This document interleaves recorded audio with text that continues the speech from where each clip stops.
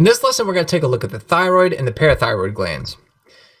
So the parathyroid glands and the thyroid glands are glands located in the main thyroid gland. So the thyroid gland is actually a bilobed H-shaped gland that sits just below the larynx and anterior to the trachea. So this is the anterior view of the uh, larynx. You've got the larynx, and then you've got the thyroid gland. This is the thyroid gland right here. And it does a couple of things. It actually secretes several different hormones.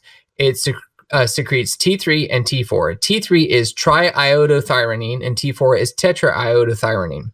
And then it also secretes another hormone called calcitonin. It's important to note that calcitonin is not controlled by the anterior pituitary gland. It's actually controlled by calcium in the blood, and we'll talk about that a little bit later. The parathyroid gland, it, there are four of them, and they are located on the posterior side. So this is the posterior view. Uh, looking from back to front, you have the right, which makes up these uh, two glands here, and then the left is these two glands here. Parathormone is also controlled by calci uh, the calcium concentration in the blood, and the parathormone and calcitonin actually work together, and we'll talk about that here in a little bit. But first, let's look at how T3 and T4 work in the body. Well, uh, T3 and T4 are secreted here in the thyroid gland. But what stimulates that? Well, there's a thyroid stimulating hormone, and what secretes that or stimulates that is the thyrotropin releasing hormone, and that's all stimulated by the hypothalamus. So, the way I like to think about it is a toilet bowl tank.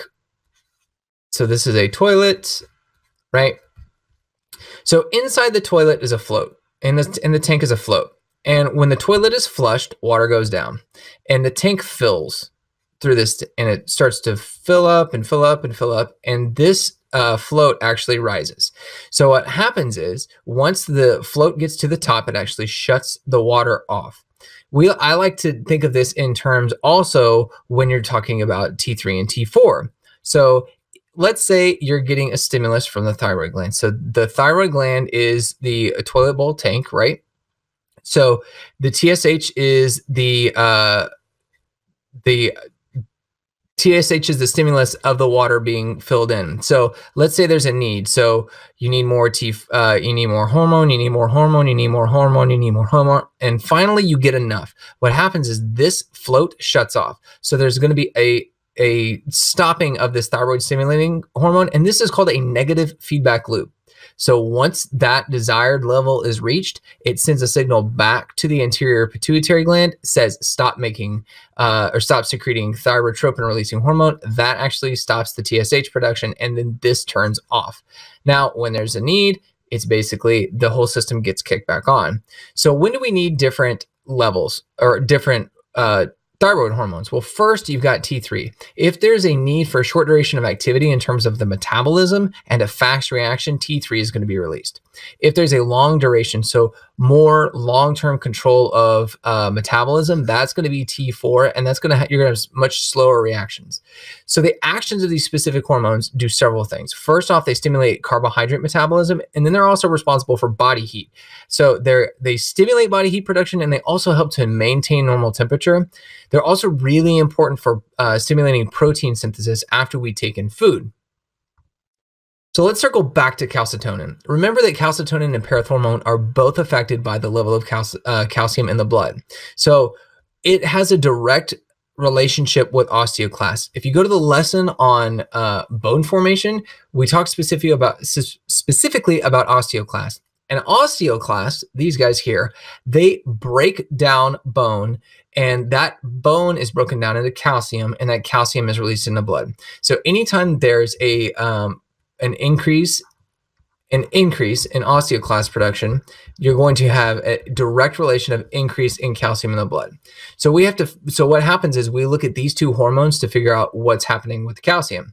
So let's look at calcium here. So let's say the calcium goes up, there's an increase in calcium in blood. So that's going to increase calcium or calcitonin production because calcitonin uh, has uh, osteoblasts to stop making new bone or to make new bone. So it's going to actually pull in calcium from the blood.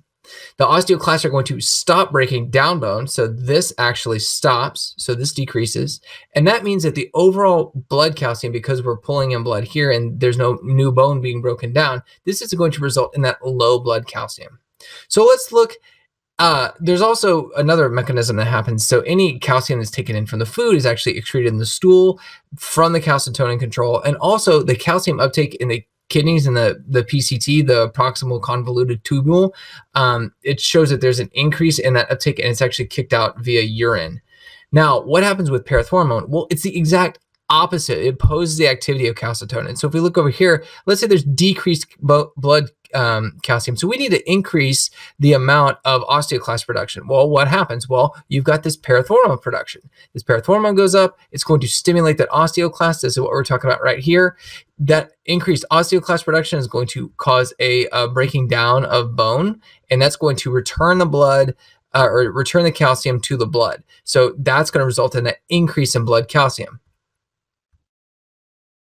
So sometimes we can have excess or def or deficient amounts of a particular hormone. So when we're talking specifically about the thyroid gland or thyroidism, we're talking about uh, how much of the T3 or T4 production is being made. So in cases of hyperthyroidism, this is when there is an excess production of T3. And what happens with uh, T3 or T4?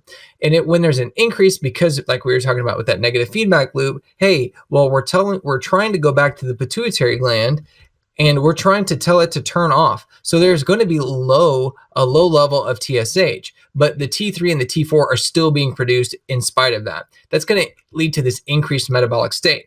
So if we look at the other way that this is, you have this hypothyroidism. So these are low levels of T3 and T4. So we're trying to stimulate production back to the pituitary gland, and that's just not happening. So it's going to result in a high level of TSH in spite of these low levels of T3 and T4. That's going to lead to a decreased level of metabolic state. With the thyroid, the parathyroid gland, parathyroidism, we're looking at hyperparathyroidism and hypoparathyroidism. We're talking specifically about uh, parathormone so with hyperparathyroidism, we're talking about an increased uh, production of PTH. Now remember that PTH has a direct relationship on the calcium in the blood. So if you have an increase in PTH, you're also going to have an increase in that osteoclast production. And if the osteoclasts are breaking down bone, you're also going to have an increase in blood calcium. So if we look here, so hyperparathyroidism, we're having an increased secretion of that parathormone. That's going to increase calcium in the blood because you have the increased osteo osteoclast production.